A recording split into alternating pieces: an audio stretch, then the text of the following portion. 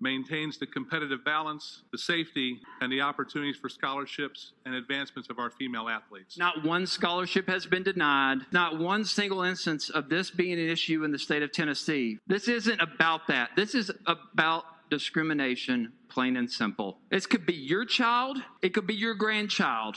There is zero reason for the state of Tennessee to be proactively discriminating against children. This is not a problem that anyone has identified in Tennessee. It hurts our reputation nationwide, which could cost us business opportunity and important tourism dollars. Federal case law is clear. It's unconstitutional to discriminate against a transgender child. We're inviting another lawsuit for no good reason except division politics. They say, just follow the science, just follow the science. I don't believe that you believe follow the science.